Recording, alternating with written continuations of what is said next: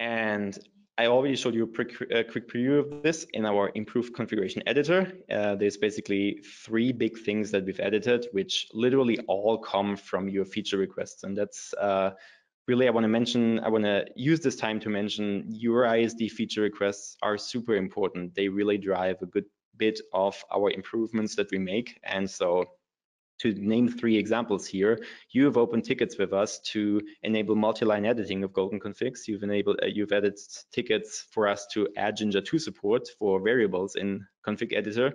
And you've added tickets to say we need to show the native config that's pushed to devices with all variables resolved, uh, without all the info error compliance um, stuff.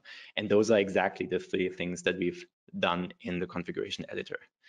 So if you see that here, I have a standard IOS config here, and what you can do is you can literally use that as a text editor. So you can say, oh, I don't care about this interface. I can just select all lines here and say, ignore this for my next compliance check. And again, it's an active development. We develop, uh, we're working on a solution right now to color code this better to have this ignored. Uh, right now, we're using a flag here.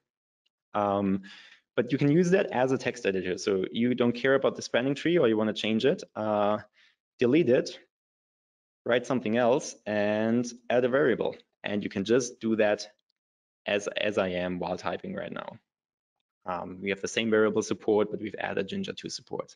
Um, if you think this is really important config here, or here your AAA, this is really important, you can mark that as an error in your compliance report rather than just a warning. So um, we basically we have now a full text editor where you don't have to click into each line and into each field to change something but we have kept the we, we've extended the flexibility but kept kept the feature set of doing specific compliance checks on whatever configuration you want. Of course you can still add uh, import configuration from um, from a device as well as in our new world with the modern network devices uh, not modern network services you can also import uh, configuration from, um, from a VPC, for example.